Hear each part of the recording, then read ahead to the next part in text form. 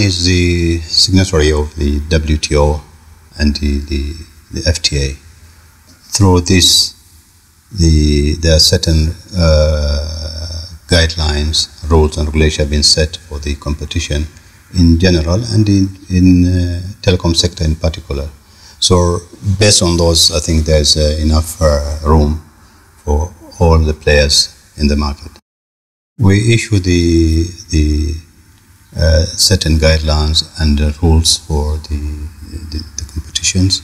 We allow the players to come to the market as far as they are willing to, to invest in that in this market.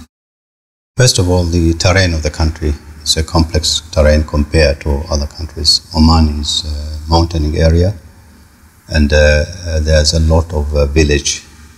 The area which is, has not covered at the moment. So this is uh, quite a challenge for the telecom sector.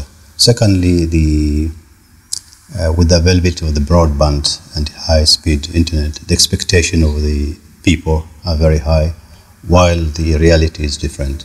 So to cover the gap between the expectation of the people and the, the, the, the providing those services, this is, I think, quite a challenge for us. But we are working on that with the government. Government has in, uh, announced the broadband company, which is, can contribute to increase the penetration of the broadband service in the country.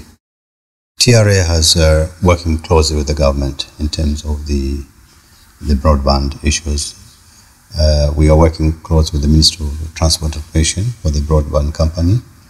We are working for introducing the guideline for the passive infrastructure, so we'll allow uh, the any players in, in, the future to have opportunity for the broadband facility.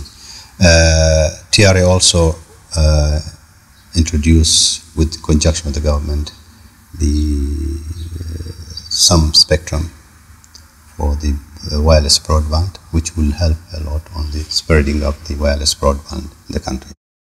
As regulator, we are not different than other regulators in other countries. There are certain tools and conditions we have to, to establish. There's a new license framework is coming up.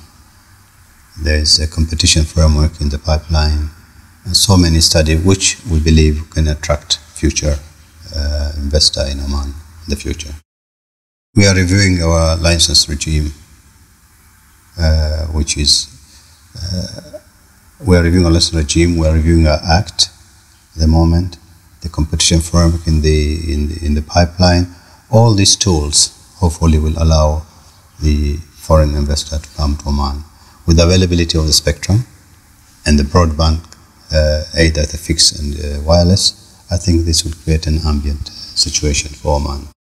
In the area of telecom sector, I think the broadband and the high-speed internet, where the issue of the content and the apps, cloud computing, I think are the area where most uh, people are concentrating at the moment.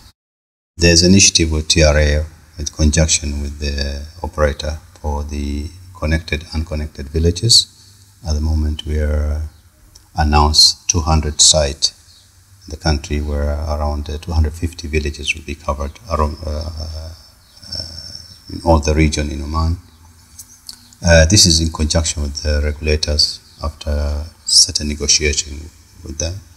And I think this will give a good opportunity for spreading up the the the telephone the telecom sectors and also the broadband facilities.